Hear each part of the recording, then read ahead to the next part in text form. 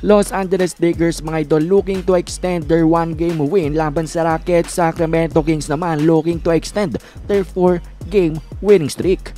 Well, sa ating first quarter mga idol Lebron James quick 5 points agad ang ginawa sa umpisa. Kaso may 6 points din na bawi itong Sacramento. Pero si Troy Brown mga idol at si Schroeder gumawa nga ng kanilang 6 to 0 run at may 11 to 6 lead na ang Lakers. Matapos nga niyan ay bumilis na ang pacing ng laban natin at itong Kings ang nag-take advantage dyan. Lumamang na nga sila 16 to 15 matapos ng kanilang 7 to 0 run pero Lebron James binawi ang kalamangan matapos ng kanyang dunk from Troy Brown na napakagandang pasa.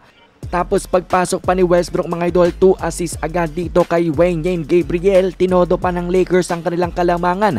34 to 20, 14 point lead. Matapos nga ng 3-pointer ni Kendrick Nunn at 4 points ni Russell Westbrook.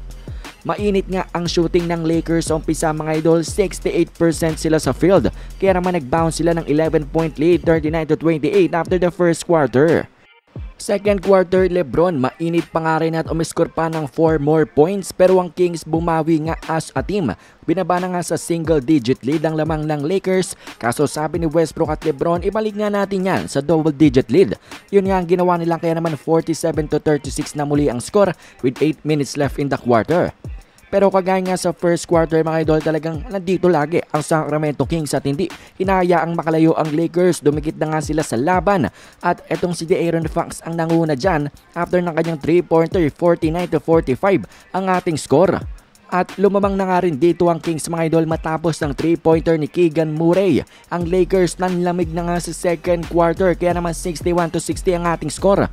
De'Aaron Fox 20 points, Lebron 18 points. Third quarter nga natin si Harrison Barnes ang nagumpisa ng scoring na binawi naman ng 2 points ni Lebron. Back and forth baskets na ang ginawa ng dalawang team sa unang apat na minuto kung saan ang Kings ang mayawak ng kalamangan. Tuluyan na nga ring humupa ang hot shooting ng Lakers sa first quarter at si Lebron na lang ang mainit. Umabot na sa 27 points pero ang Kings naman ngayon ang hindi magmintes.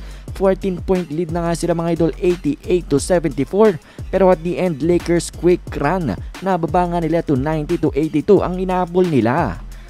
Fourth quarter nga natin ay quick 4 run ang ginawa ng Lakers down to 4 na lang sila. Pero the Aaron Fox bumawi nga. Kaso si Westbrook pinaulalan nga ng back-to-back 3-pointers ang Kings. 96 to 94 na ang ating score. At lumamang na nga rin ng Lakers with 6 minutes left 101 to 100. At dinawanan nga dito ni Lebron James itong si Chimesi Metu. Matapos nga siyang mapalpal at magyabang. Tie game nga rin tayo dito mga idol 103 to 103 with 4 minutes left matapos ng layup ni Anthony Westbrook. Kaso ang Kings nga after the timeout ay nag-build ng 5 point lead. Ang Lakers naman ay mga idol no give up. Nag-end one play pa nga si Lebron James para matay ang laban with 1 minute and 10 seconds left. Kaso nga mga idol hindi na rin kinaya at the end na ito nga Lakers ang clutch plays ng mga Sacramento Kings player. Hindi na nila ito na overcome at sila'y natalo nga mga idol. At ang Kings natuloy mga idol ang kanilang winning streak.